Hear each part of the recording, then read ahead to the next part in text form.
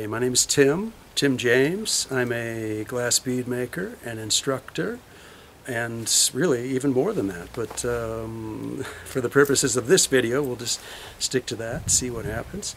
Um, I live here in Tuscany, Italy, with uh, with my wife Lily, who's a, a jewelry designer, and she's also the one that got me into glass bead making una vita fa, a long time ago, uh, in 2002 actually, um, just after we moved here from the States. And uh, I, I, took this course, and you know, good times, a lot of good wine, a lot of good food, um, not much in the way of, of uh, glass bead making. I don't know, seemed a bit odd, but you know, at least I was having fun, good memories. Um, uh, so really, over the next two, three years, working by myself in my studio, using YouTube and, and, and that kind of thing, um, videos online, books, um, uh, and then lots of uh, trial and error. Um, you know, that's, you know, I'm, self-taught, basically. And, and, but once I settled in, um, I really felt comfortable, you know, in that creative process. Uh, and, and, it is. It's a very unique way uh, to create. Um, and then teaching uh, from 2005, that too, that's its own type of craft. Um, finding some way to verbalize what you mean in many different ways really because not everybody we don't all hear things in the same way so as to get that clear picture um, uh, it's, it's really one of the reasons I wanted to make this tutorial series. For many years I've been thinking about it. Um, this idea that, that, that I could I could I could capture um, uh, the, the, the bead making process from my perspective uh, in terms of at the torch. Um, and uh, to be honest, I'm pleased with this one because you know it, it's it's uh, it's come together in a way that I really feel like does emulate um, a one-on-one class uh, in, a, in kind of an intimate way, um, which again I'm pleased about. So hopefully you will be as well.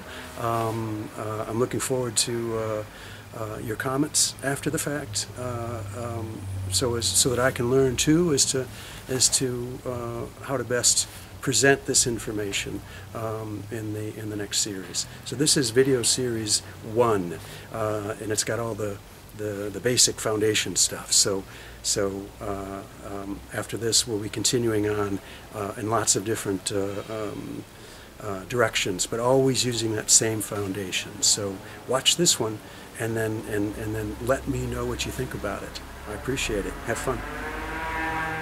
All right, let's make a glass bead, shall we? The magical, mystical world of glass bead making. Dun dun dun. Look, so this is a Nortel minor bench burner, uh, and it has a graphite pad mounted to it. Um, that's incredibly useful. The best 25 bucks I ever spent in my life. Um, if you don't have one, I would highly recommend it. Um, but even if you do not, obviously we can use the paddle, other graphite surfaces, that kind of thing. Woo, six and one. Um, now this is a propane oxygen surface mix torch, which means that uh, the gases, when they exit, mix at this point. Therefore, this is the hottest point in the flame. It's also the dirtiest because the gases are mixing right there. So, honestly, you almost never want to work there. You, you usually want to work from about here out, depending on what you're doing. Most of the time, when you're melting glass, you'll be here.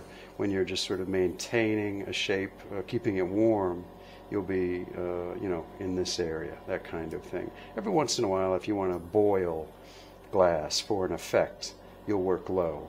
But um, it tends to, um, it's dirty, and so you'll, you can end up with uh, uh, scum, uh, especially on, in, on the transparents. Um, so, boom. From here out is usually your best bet.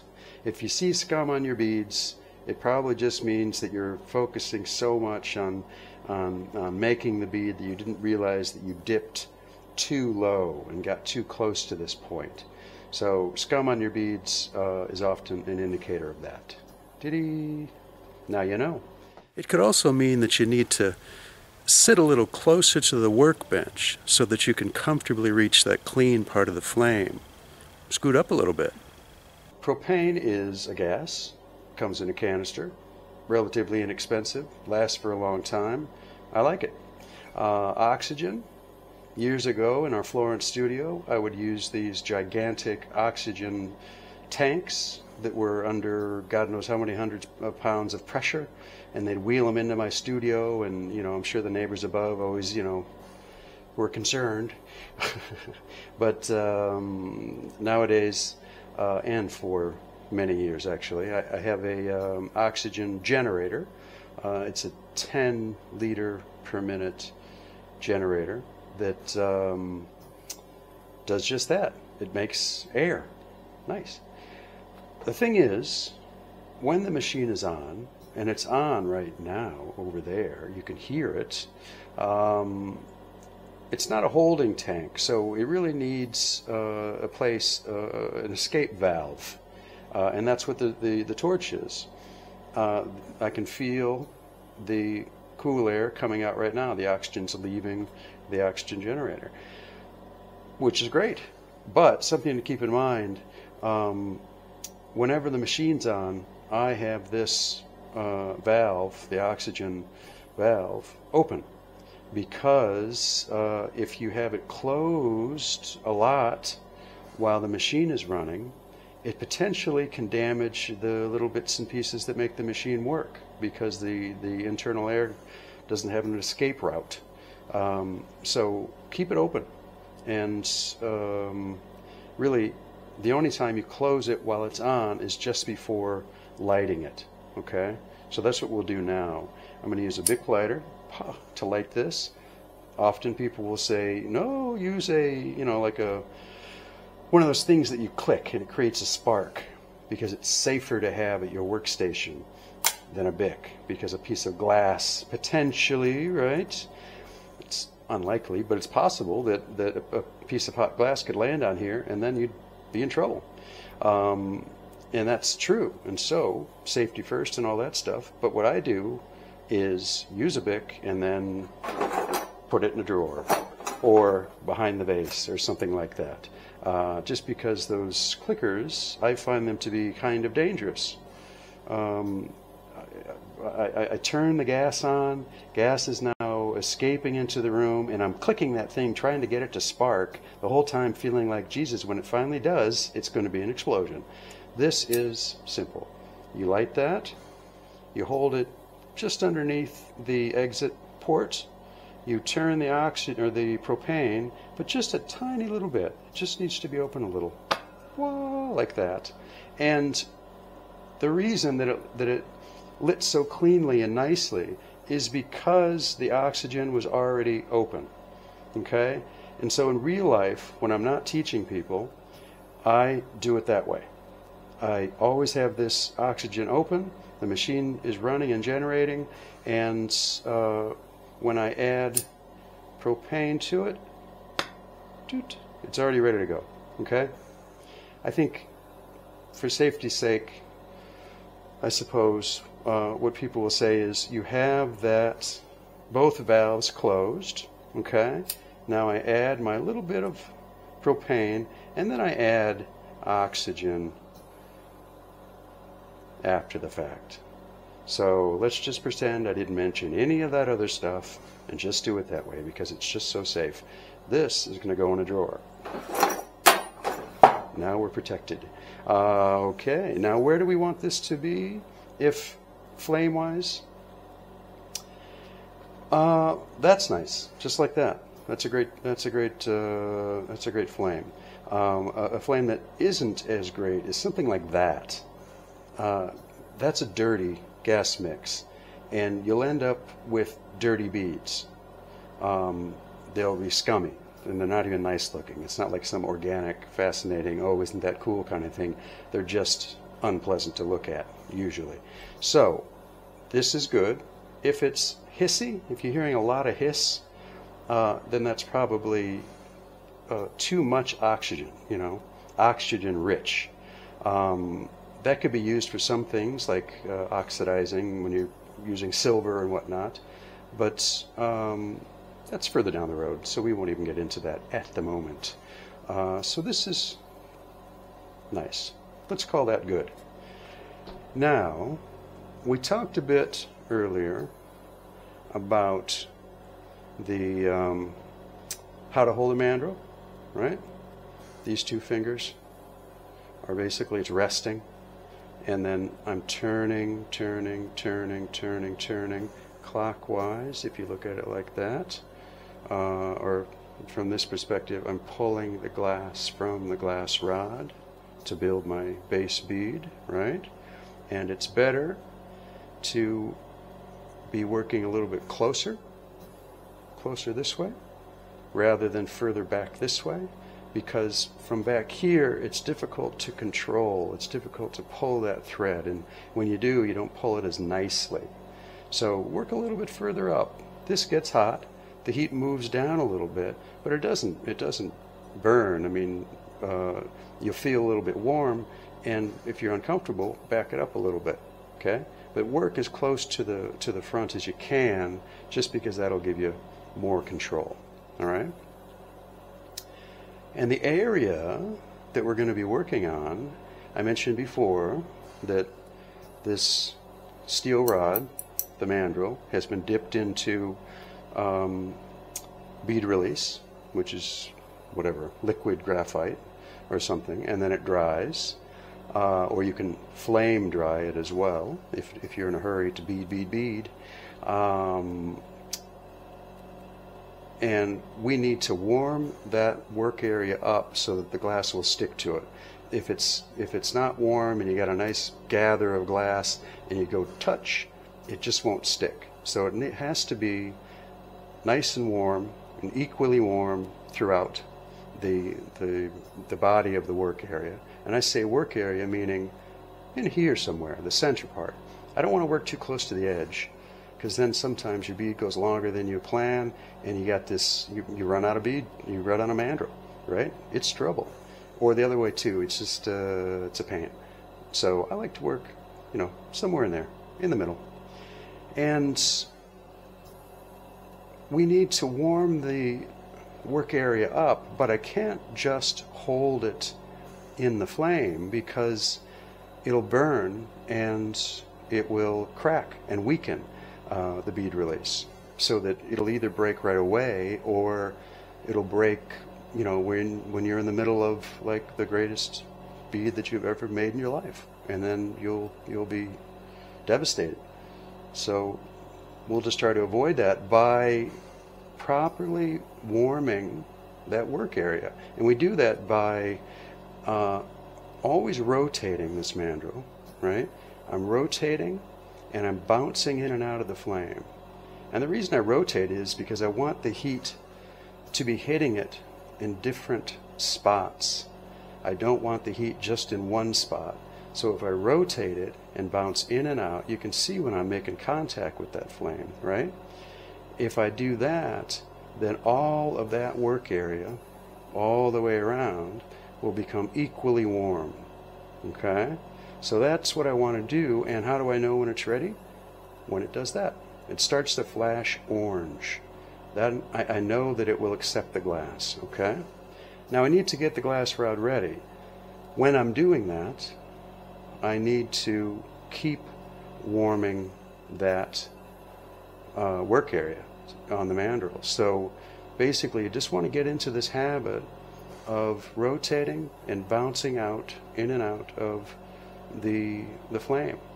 And that's true also once you have your glass in place, because soft glass uh, gets cool very quickly. So you really need to always be keeping that work area warm and then keep the glass warm once it's on there. Uh, if you don't, then the, the, the glass will cool. Like if you're over here and you're focusing on this, and then you come back to the flame with your, your cool glass there, the glass can shock and crack and bits and pieces fall off and uh, it's not that nice. So it doesn't explode or anything, but it's it's it's uh, less than efficient. So um, that's like rule number one, if there are rules, which there aren't, by the way. But if there were, one of them would be to constantly be bouncing in and out of the flame to keep your mandrel and or your glass warm. Not hot, not molten, but warm. Okay? Now, while we're doing that, we're gonna we're gonna um, prepare our glass rod, build up a, a, ball of glass, and then transfer that glass onto the mandrel so, as, so that that can begin to be the foundation of our bead. Okay? Now, if I stick this glass rod, jam it right in there to heat it up, it's a, it's a pretty good thickness, and I'm going right at the hottest part of the flame. So what will happen almost certainly is it'll go and pieces will jump around, okay? So you don't want to do that necessarily. It seems unsafe. So instead, a good way, a safe way to introduce the rod to the flame is, is two things. One, if I go like this, little bits and pieces will jump off and they'll go that way. So they'll, ooh, there's one right there, see? And even smaller pieces go further than, you know, it could land on my arm and then it's like, er, hurts a little bit. Not bad, but still. And instead of having that happen, since it usually does, enter the flame this way. Point the glass rod away from you, right, and down towards your work surface, whatever it is. Mine's marble because I'm in Italy. But um, if you point it down, then little bits and pieces can, can go all over as they like and it won't matter, okay? Also, don't start so low where it's hotter introduce it higher so that it has an opportunity to warm up and become acclimated to the heat. Okay? Some glass colors, like ivory, for example, a thick rod of ivory this uh, diameter, pops, potentially pops like crazy. And I think it's just because it's such a complex color um, clear and black and, you know, this yellow, they tend to not be as poppy. But still, you want to be careful and just want to get into the habit of, of introducing your flame, or uh, your glass rod to the flame up high. You're pointing it away, and you're just kind of slowly tapping the tip in and out. Okay? And then once you can tell that it's not going to be poppy, then you can move that more down into a, a, a, a comfortable work position. And since my goal is to build up a ball of glass on the end of the rod, which is called a gather, I'm going to hold this glass rod at kind of a sharp angle so that the glass has an opportunity to ball up on the end. Now, I'm not rotating the glass rod, all because that's, you know, rotating both just makes me seasick to even think about it. So, what I'm doing instead is the glass is starting to melt, right? So I turn it up. I rotate it like halfway up, and it starts to drip again, and then I rotate it halfway up. You know, so I just it drips and I catch it. It drips and I catch it. See what I'm saying? And then it starts to build up into a gather, into a ball. And that's what I'm looking for, okay? So I'm doing two things at once. It's like rubbing your head and your stomach, and it can be a little annoying and odd at first. Believe me, it's that, it's that way for me and for everybody in the beginning. Um, but you find your balance, and it all works out. So I now would like to transfer this glass, right? Got plenty of it. So what am I going to do?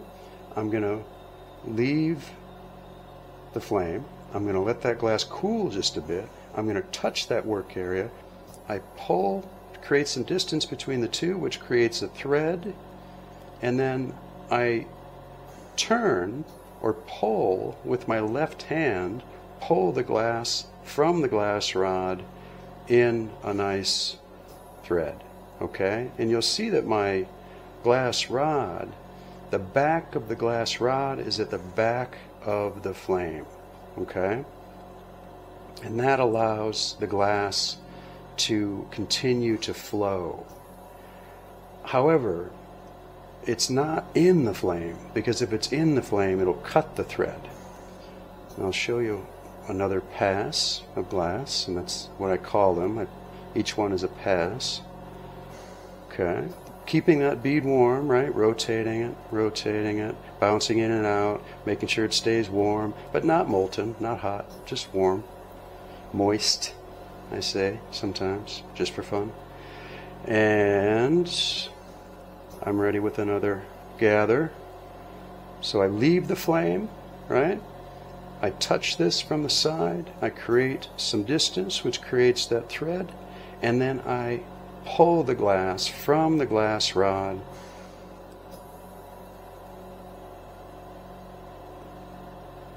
in this way. And again, the glass rod itself, just the back of it, is at the back of the uh, of the flame. If you if it's too hot, the flame's going to get thin or it's going to be cut. So if if your thread is thin, then try staying out of the flame more. Work a little cooler and see how that goes for you. Um, also, that big pause, like right now, pause, and then touch, and then pull, and then turn, that big pause makes a big difference because if you don't pause, then the thread that you send, the thread of glass, is going to be very thin and it really won't be very productive. Um, you'll be sending a small amount of glass and it won't, it won't um, build up very much. So that big pause, I should get a big sign, put it above, above the station. Pause! It's important. I'll do it one more time. Pause, pause, and then touch, and then pull away, create some distance, and turn, turn, turn. And you see how I am, my left hand is, all the movement is coming from the left hand. Okay? The, the glass rod stationary at the back of the flame. The glass rod, I mean the, the bead itself in my left hand, that's where I'm pulling the glass, I'm, I'm rotating so as to pull the glass from the glass rod. And I go left to right so that the thread, like a, like a, a thread and bobbin, will, will lay across the surface. Rather than just go straight up, it goes left to right, left to right. I'll do one more. One, it's getting to be a big bead, but we'll do one more just so I can demonstrate that point in case it's not obvious. How would I know? I know what I'm talking about, I think. All right, check that out. You see what I'm saying? Left to right, left to right, left to right. Okay? It's a gigantic bead. It's massive. All right, so we want to melt that bead down into a beautiful finished foundational bagel shaped type bead. A couple of things to keep in mind. This glass rod stays very hot for a while. So I always put it in the same way, hot end out, and I always grab cool end first, or from here. Is that clear? always get into a routine so you're always doing it in the same way so that you don't even think about it anymore. Obviously, you don't want to be grabbing that hot end. If it's if it's always the hot end out, then I'm always grabbing the cool end, um, even if I'm in a stupor when I'm working, which certainly happens. And then the bead itself, I I want to switch to my right hand because my right hand is my strong hand. Um, but I, I, I, I want to make sure and switch over the workstation, over the marble. Because if it falls, it doesn't make any difference. If I totally spaz out and drop it, fine, whatever. I just pick it up again, move on with my day. If, in, uh, on the other hand, if I switch over here, if I change hands over my lap and it falls, it's a completely different story. You're racing around, you're, you're, you're trying to not have it be in your lap. You also don't necessarily want it sitting on the floor since it's a very hot piece of glass. Um, there's a lot of good reasons not to have that happen. So we avoid it by always changing hands over our work area. Okay? Now, this is one of my favorite bits. And this comes from hollow core bead making. Uh, years ago, I had a gigantic order. I was, I was, I had been bead making for um, three years, I guess, two and a half years or so, and we moved from Lucca, Italy, which is in Tuscany, uh, to Florence, Italy. And when we did, the uh, the glass gods of Italy, and these things only happen in Italy, by the way. I mean, this is, it never would have happened to me in the States. I got this gigantic job uh, making thousands of beads for Chanel. And, and the, the bulk of them were hollow core beads. Um, if you don't know, it basically just means that, that they're beads they're hollow at the core, core, so they have less glass, so they weigh less. And making all of those beads for months and months and months, and then continuing on after because I enjoy the process, I started to. It's a special way of working with glass when you make uh, hollow core beads because you really have to. It's very fine, and you're using the heat in a very special way, and and and. Uh, I started to realize that I could take the the same uh, uh steps uh, and, and, and, and same um, idea and apply it towards all the beads that I make because my beads were very consistent. Once I got comfortable making hollow core beads, uh, the beads themselves were very consistent. The way that, that it was a very controlled process, the melt process and everything. So at some point I just started doing it with all the beads that I make, and that's and I've been doing that for years and years and years. So I work with glass in a, in a in maybe a different way than other people because of the fact that I had that order at the beginning of my career. And, and it just uh, steered me into this, this way of, of working that I find very harmonic, or harmonic is even better because it's the proper way to say the word. But it's, it's, it, it, it's, it's, it's working in harmony with the forces that be, gravity and, and, and whatnot. Um, meaning that, that I'm not forcing anything. I'm just, I'm, I'm working with uh, the process rather than, than demanding it do something. You know what I'm saying? And what I mean by that is, like the melt process, for example. I want to heat.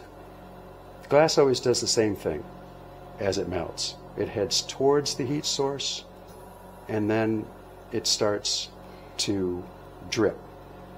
Now, if I hold my mandrel nice and straight and I heat the exterior of the bead in, so I'm, I'm, I'm, heating uh, the exterior first all the way to the core. I'm not heating the core first because then it'll just sort of collapse into a blob. I'm heating the exterior first, so I'm just working right on the surface of the flame. I'm just touching it with the exterior of my bead and a very slow rotation. And that slow rotation and that contact, you can see I'm trying to stay right in the center of that of that flame.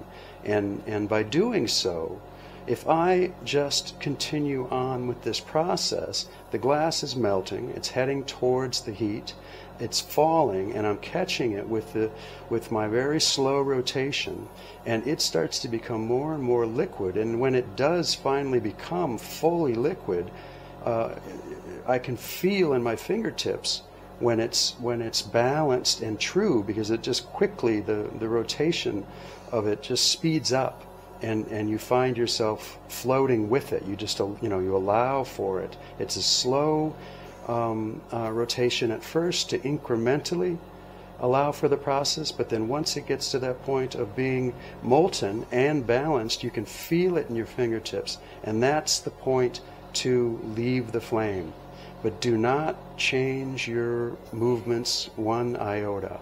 Okay? Allow that bead to go from molten to solid.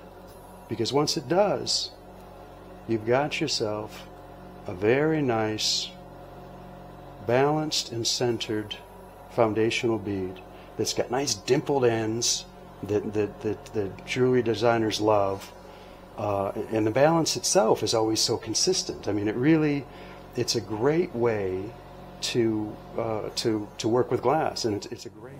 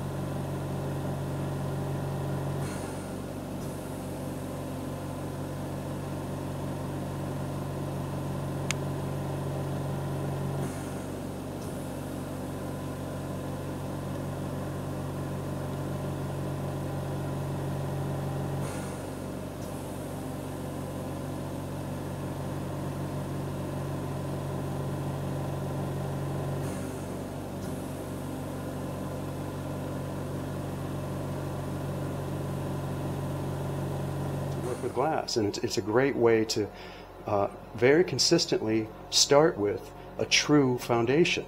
So if I was going to start decorating now and, and or flattening, I mean, you flatten a bead that's out of balance and you'll see right away how out of balance it was because flattening it exaggerates how out of balance it was and you're like oh my god that bead is now hideous right if you flatten a beautifully balanced and centered bead, you get a beautifully balanced and centered shape, flat shape, whatever it is.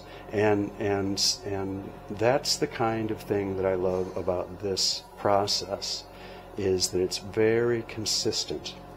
Okay? Oh, he went on and on and on about it. But it's kind of cool.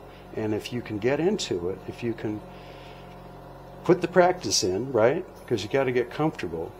Uh, but people do pretty quickly, you know. I mean, I've taught a lot of people, and, and people get quick, get comfortable pretty quickly.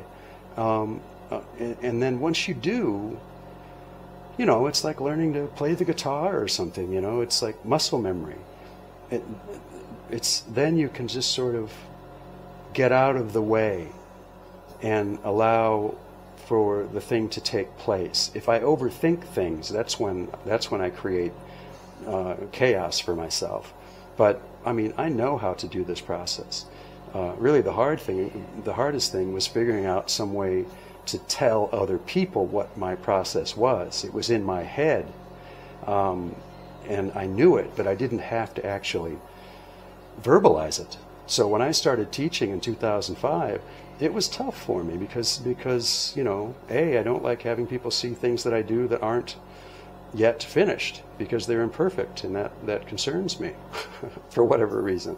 But also I mean I, I it, it, to to explain something to someone so that they understand it I mean it does it isn't one way of explaining I mean that's one of the reasons I really wanted to do this series is that is that I hoped that I could create this virtual experience that is understandable because you're really seeing it from my perspective. Because even if you were standing in the room, you'd be to one side or the other or behind me and looking, you know, at my process and listening to me, but from a different perspective. Right now, you're, you're literally seeing it from, from, from my perspective, and I've always wanted to be able to uh, realize that in, in video, in, in, a, in, a, in a tutorial series. And so here I am. This is basically video number one, and I, I, I hope that uh, I'm making some sense to all of my millions and millions of followers. I'm pretty sure I don't even have one yet, but you know, hey, you got to start somewhere. So you come away from the heat. It's a it's a molten ball of glass on a stick, amazingly, right? You come away and you don't change your series of movements at all. You want to let it go from that liquid state to a solid. It goes from orange to dark. Once it's dark, you know it's a solid, right? Still obviously very hot, but a solid nonetheless. And then, since I'm not decorating this one, um, I wait a few more moments, right? And then I put it into my insulating material. Okay? Maybe something like that. Wah. Now, the insulating material slows the cooling process so that the bead doesn't shock and break, right? If I just let, set it down here and let it cool, uh, you know, there's a high likelihood that it might break, especially if it were like a flat bead, but it's got a lot of stress, that sort of thing. Um, but the thing you have to consider is um, if you, this is called Japanese cool, uh, Japanese cooling bubbles I don't know why exactly, but that's what they call them. They used to. I used to use vermiculites, or but if you're using vermiculite or, or cooling bubbles or fiber blanket, whatever it is, the idea is the same. If you if you put your bead in too quickly, so that it's still too hot, then the surface of the insulating material will scar the bead, and that's not so nice. On the other hand, if you wait too long, then the bead might cool too much and crack. Either crack here or um, it'll crack in the kiln when you're when you're bulk annealing later. Um, or worst case scenario, it'll crack on that beautiful you know piece that you made and sold to somebody. And then they'll come back and give you that look, which nobody wants to get, right? So so if you find that your, your beads are cracking when you're, when you're removing them from the mandrels after they cooled, uh, try putting them in a little sooner. Okay? If you find that beads are scarred on the surface, try waiting a little bit longer before you put them in here. Okay? And they need to stay in the material, the insulating material, for, you know, an hour or more uh, to be on the safe side. Okay, and I mean I like to if if I'm doing a bunch of round beads, round beads are uh, very stable because whatever stress they have inside rotates around itself. Um, if it, it, round beads, boom, boom, boom, make a whole bunch of them, stick them in here. You know, an hour from now, I'm gonna, I'm gonna, or whatever, I'll, I'll take them off the mandrel, and, and bulk anneal them at the same time. Um, annealing is the process of putting them in the kiln, uh, heating them up from room temperature to 509 degrees centigrade, uh, which is just before the melt point. Um, and, and, and what that is, is it kind of relaxes them. It's like a glass bead massage service. Yeah. And, and it, it, it releases the internal stress inside that bead by, by getting it close to the melt point so that whatever internal stress it has hopefully will be uh, released. And then the kiln is turned off and it sits overnight and cools down naturally. You can come back in the morning and your beads are annealed. uh, and as durable as they possibly can be. If I'm making delicate beads or beads that have a lot of stress, like a flat bead, take a bead like that, but then squish it, you trap a ton of stress. So even though we flame anneal and all the rest of it, which I'll show you, um, if it's a flat bead, it still has way a, way higher likelihood of breaking. Okay, um, that's the kind of bead that I'm going to put directly into the kiln. I'm going to make it uh, into the kiln, so it'll go from hot to hot, rather than hot to cold to hot to cold. Okay, if it's delicate, do it directly into the kiln if you can. Um, otherwise, one more thing about this bit. It's not a set amount of time. You don't say, oh, okay, you have to wait five seconds, you know. The thing is, is that it, it, it, the amount of glass that's being used or the type of bead that you're making affects how long you wait before you put it in. So uh, if it's a bigger bead, I'm going to wait a little bit longer. Um, uh, it's got more mass uh, and needs a little bit more time, I think, to cool down before you, you know, that kind of thing. Um, uh, smaller beads, um, uh, I'm not so concerned about that. They could go in a little bit quicker. Um, if it's a flat bead, I'm concerned, if I'm putting into here, then I'm concerned that that bead is going to cool too much. So I risk uh, scarring the surface by putting it in a little bit sooner than I normally would because I want that bead to be a little bit warmer when it's sitting inside the insulating material so as to decrease the likelihood that it uh, breaks. And again, that kind of bead, usually I'll just make it directly into the kiln instead because it's just a, a more consistent way to not make broken beads, if you know what I mean.